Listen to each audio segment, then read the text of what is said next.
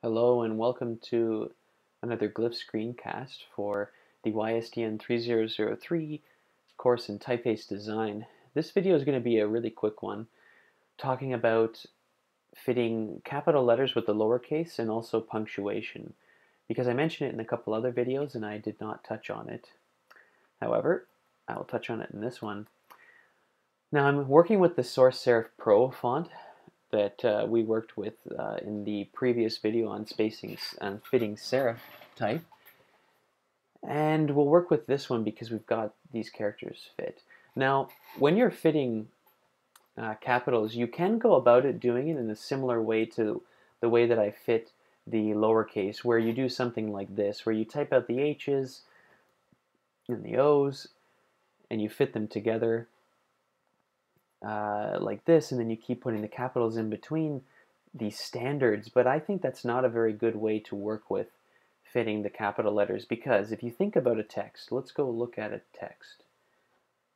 What is the most common graphic element that you see, other than the fact that these are letters and it's a sans serif typeface? What's the most common typographic or let's say uh, script element that you see in this text? Lowercase letters. You see some numbers and you see some capital letters. You see some punctuation, but you see mostly lowercase letter forms. So therefore, we need to fit the lowercase letters to work really well together.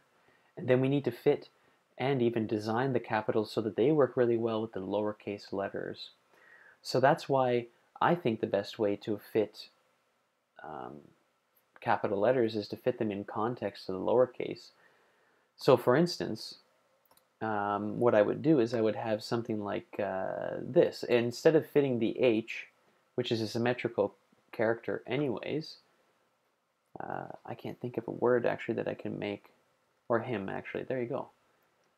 I have to say to myself, this H is going to be symmetrical on both sides, but I think right now that word him looks way too far apart. What if it's 30?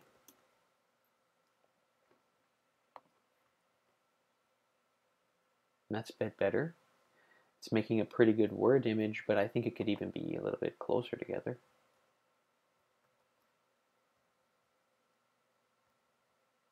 Little too close. I'm going to do this. That's what I want for this. Usually when I'm developing a typeface, I'm going to go back to this Sergio Sans font again. Usually this is the kind of string that I get going. I get a kind of running string and then I'll be putting the capital letters in here and fitting them with the lowercase, seeing what their relationship is as I design them. Well, actually, I want to throw that down here. So that's the way that I tend to work on it. But this is another way you can do it. But when you get it in a kind of string, then you can see, okay, actually this feels like it's comfortable in the pattern. But really, this is the way I do it. I would do it. If I had an R, I could do something like uh,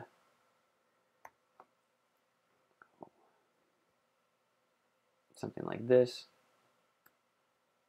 or even something like this. The thing about R, so it'll take the same value as the H, but on its left hand or its right hand side, it can be a tough character. This is a pretty square R, but if you get an R that has a splayed leg, like that sticks out further, that's going to cause more spacing uh, issues. This is actually a better, this design is easier to fit. Not necessarily better, it works really well with this letter form design.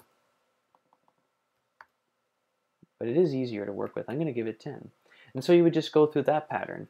Now if I wanted to fit punctuation, the way that I do that is I test it out in words. And a really great thing to do is to grab one of these things, one of these kind of threads, and throw in the punctuation into some different scenarios. Because obviously a real text would have a lot of you know, periods, commas, depending on what you're using.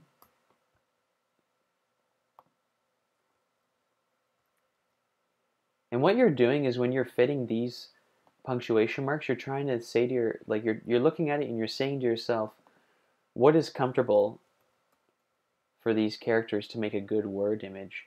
Does this, you know, and does keeping the exclam as symmetrical, does that add too much extra word space?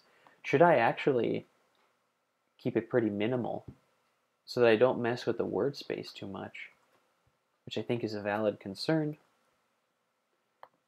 for book typography, for text typography anyways.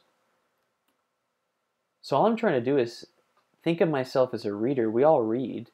We all recognize a pattern of text. There's none of us in this course who do not read. So we are subconsciously we're all readers, which makes us you know qualified to be type designers in in one sense because we can judge the pattern of reading. This comma has to actually get pretty tight. You might even see with a comma, let's see what it looks like after an N instead of that. Yeah, the comma has to get a pretty um, pretty uh, small value on that left-hand side. Okay, that's going to be everything for this video. You would do the same kind of thing for bold light along your design space continuum.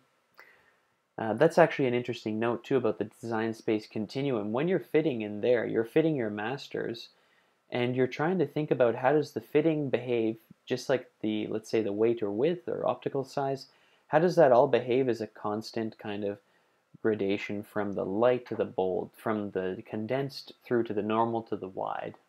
Okay, that's all for this video.